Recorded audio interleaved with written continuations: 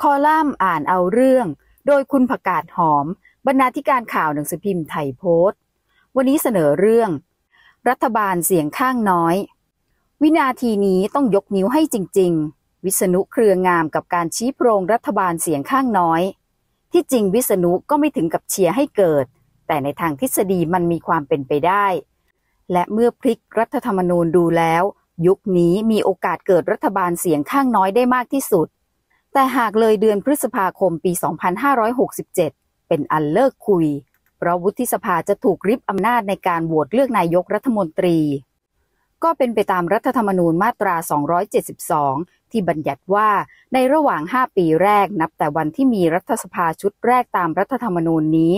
การให้ความเห็นชอบบุคคล ซึ่งสมควรได้รับแต่งตั้งเป็นนายกรัฐมนตรี ให้ดำเนินการตามมาตรา 159 เว้นแต่การพิจารณาให้ความเห็นชอบตามมาตรา 159 วรรคหนึ่ง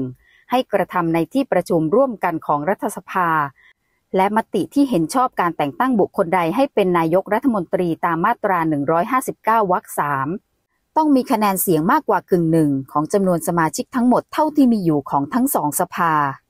วุฒิสภาชุดนี้ได้รับการโปรดเกล้าแต่งตั้งเดือนพฤษภาคม 2562 ก็ครบ 5 ปีเดือนพฤษภาคม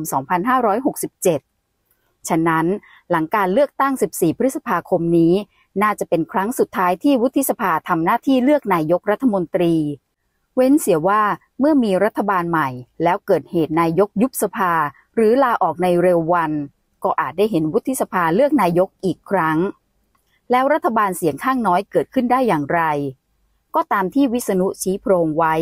ขั้นตอนการตั้งรัฐบาลมันใช้เวลา กระบวนการจับขั้วจะชัดเจนตอนเลือกประธานสภาผู้แทนราษฎร หากเกิดรัฐบาลเสียงข้างน้อย ประธานรัฐสภาจะกลายเป็นคนของฝ่ายค้าน แต่ก็ไม่แน่เสมอไป หากเกิดการสลับขั้วขึ้นมา วิษณุพูดถึงการตั้งรัฐบาลเสียงข้างน้อยในทางทฤษฎี เห็นทุกพักการเมืองพร้อมใจกันพูดว่าจะไม่ให้เกิดไม่ใช่หรือ แต่โดยมากแล้วรัฐบาลเสียงข้างน้อยนั้นไม่ควรจะตั้ง แต่ถ้าหนีไม่พ้นแล้วจำเป็นต้องตั้ง ก็จะเป็นเสียงข้างน้อยอยู่ไม่กี่วัน และจะเป็นเสียงข้างมากขึ้นมาเอง คงไม่อยู่ไปถึงขนาดไปเจอกฎหมายงบประมาณ ความหมายคือตั้งรัฐบาลเสียงข้างน้อยไปก่อน แล้วค่อยดูสอสอจากขั้วตรงข้ามทีหลัง แล้วใครจะเป็นฝ่ายตั้งรัฐบาลเสียงข้างน้อย หากผลเลือกตั้งพักร่วมรัฐบาลเดิม รวมกันแล้วได้เสียงสอสอน้อยกว่าอีกขั้วการตั้งรัฐบาลเสียงข้างน้อยอาจเกิดขึ้นได้ ราะสว 250 คน ยังถูกคาดหมายว่าจะไม่แปรพักไปเข้ากับขั้วการเมืองที่มีพักเพื่อไทยเป็นแกนนำแต่การเป็นรัฐบาลเสียงข้างน้อย จะเป็นเพียงช่วงสั้นๆ คือช่วงเริ่มแรกเท่านั้น กระบวนการดูดสอสอจนกลายเป็นเสียงข้างมากในสภา จะต้องเสร็จสิ้นก่อนมีกฎหมายของรัฐบาลเข้าสภา หากไม่ทัน รัฐบาลพังทันที เพราะแพ้โหวตโพรงที่ชี้นี้หากเป็นไปได้ไม่ควรทำ นอกจากไม่สง่างามแล้ว ยังจะสร้างปัญหาความขัดแย้งทางการเมืองหนักขึ้น เป็นประเพณีทางการเมืองที่ไม่ควรสร้างขึ้น แต่ก็ไม่ใช่เรื่องใหม่อะไร หลังเลือกตั้งปี 2562 ก็มีการพูดประเด็นนี้กันมาแล้ว เพราะการแข่งกันตั้งรัฐบาลระหว่างพรรคเพื่อไทย กับพรรคพลังประชารัฐ มีตัวแปรมากมาย โดยเฉพาะพรรคประชาธิปัตย์หากวันนั้นพรรคประชาธิปัตย์ตัดสินใจไม่อยู่ข้างพรรคพลังประชารัฐ ชมหน้ารัฐบาลเปลี่ยนทันที แม้พักพลังประชารัฐจะมีวุฒิสภาหนุนหลังอยู่ก็ตาม เราอาจได้เห็นรัฐบาลเสียงข้างน้อย ที่มาเก็บสอสอเอาทีหลัง หรือไม่ก็ได้เห็นพักเพื่อไทยเป็นรัฐบาล ปี 2518 เคยเกิดเหตุคล้ายกัน แต่ก็มีส่วนที่แตกต่างกันพอสมควร การเลือกตั้งทั่วไปปี 2518 พักการเมืองเกิดขึ้นมากมายหลายพักสมกับยุคที่เรียกว่าประชาธิปไตยเบ่งบาน ตัวละครหลักคือสองพี่น้องพักประชาธิปัตย์นำโดยหม่อมพี่ หม่อมราชวงศ์เสนีปราโมทส่วนพักกิจสังคมนำโดยหม่อมน้อง หม่อมราชวงศ์คึกฤทธิ์ปราโมทผลเลือกตั้งพักประชาธิปัตย์ได้สส72 ที่นั่งรวมกับพักเกษตรสังคม แนวร่วมสังคมนิยม และพักอื่น ๆ ได้เสียงสนับสนุน 103 ที่นั่ง เป็นแกนนำจัดตั้งรัฐบาล แต่เสียงกึ่งหนึ่งของสภาในขณะนั้น คือ 135 เสียง ฉะนั้นรัฐบาลหม่อมพี่จึงเป็นรัฐบาลเสียงข้างน้อย แต่หม่อมพี่เชื่อมั่นว่าจะสามารถล็อบบี้สสมาร่วมรัฐบาลเพิ่มจนเกิน 135 เสียงได้ เมื่อมาถึงการถแถลงนโยบาย รัฐธรรมนูญปี 2517 บัญญัติว่า การถแถลงนโยบายของคณะรัฐมนตรีต้องได้รับความไว้วางใจจากสภาผู้แทนราษฎร ถึงวันถแถลงนโยบาย กลายเป็นว่ารัฐบาลหม่อมราชวงศ์เสนี ได้รับเสียงสนับสนุนเพียง 111 เสียงเท่านั้น มีถึง